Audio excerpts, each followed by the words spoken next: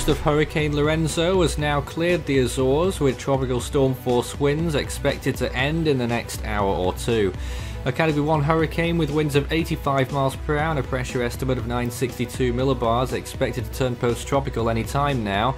The CDPS is looking at Killybegs in Western Ireland on October the 4th, still, believe it or not, a stage 6 on the CDPS for that area even though the storm will be post-tropical, owing to its massive wind field and possibly still hurricane force winds by then.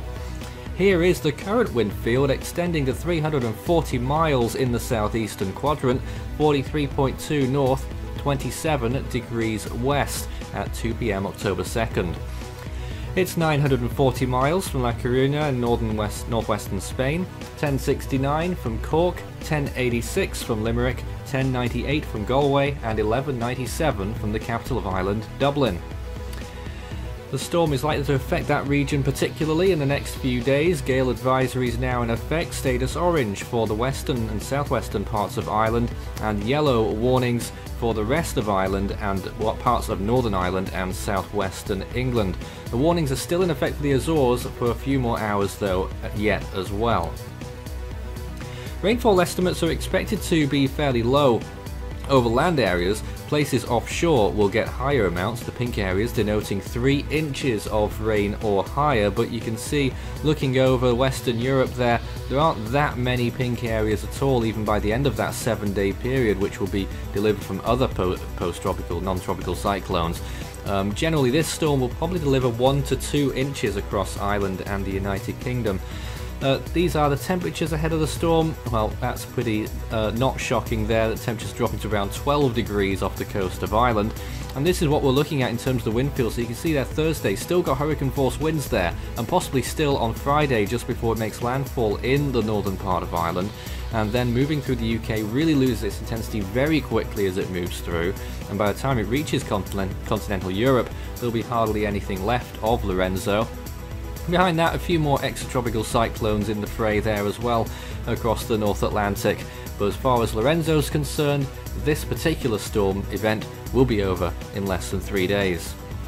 This is what we're looking like in terms of the models then, uh, calling for gradual weakening uh, by this point. Uh, general consensus is that it will just about lose hurricane force winds before striking the coast of Ireland, uh, but just off the coast uh, it, we still have hurricane force winds. Wind shear is going to be very high, sea surface temperature dropping like a stone, relative humidity uh, irrelevant at this point. You can see the forecast tracks there, the forecast there, um, generally taking it through the northern part of Ireland.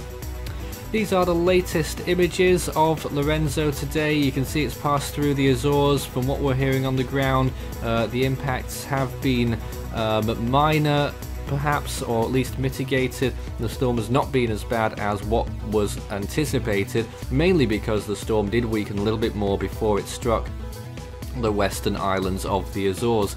Indeed, you know, during uh, Lorenzo's peaking phase, we were talking potentially for Category 3 winds on the Azores. Thankfully, that didn't occur, in Category 1 conditions were in fact recorded.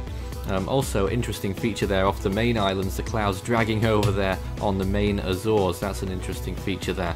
It's really not looking very tropical at all at this point. It's really let itself go in the last 12 hours, and I think at the next National Hurricane Centre update it will turn post-tropical. We'll have further updates on the main channel and on Force 13 UK and Ireland. You can follow Force 13's outlets, the website force13.com.